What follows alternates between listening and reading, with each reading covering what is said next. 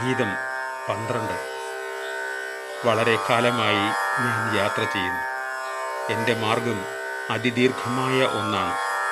ആദ്യത്തെ പ്രകാശകിരണങ്ങളുടെ രഥത്തിൽ ആദ്യമായി ഞാൻ വെളിയിൽ വന്നു ഗ്രഹങ്ങളിലും നക്ഷത്രങ്ങളിലും വഴിനീളെ അടയാളങ്ങൾ പതിപ്പിച്ചുകൊണ്ട് ഗിരികാനനങ്ങളിലൂടെ എത്രയോ ലോകങ്ങളിൽ ഞാൻ സഞ്ചരിച്ചു. അങ്ങയെ സമീപിക്കുന്നതിനുള്ള ലഘുവായ മാർഗം ഏറ്റവും ദീർഘമായ ഒന്നാണ്. ലളിതമായ സ്വരം പാടുന്നതിനാണല്ലോ ഏറെ സാധന വേണ്ടത്. അന്യഗ്രഹങ്ങളിൽ അലഞ്ഞു തിരിഞ്ഞ ശേഷം പഥികൻ സ്വഗൃഹത്തിൽ എത്തിച്ചേരുന്നു.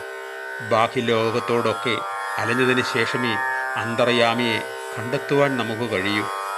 ഇതാ അങ്ങ് എന്ന സത്യം മനസ്സിലാക്കുന്നതിന് മുമ്പ് എത്രയോ ദിക്കുകളിൽ ഞാൻ കണ്ണോടിച്ചു.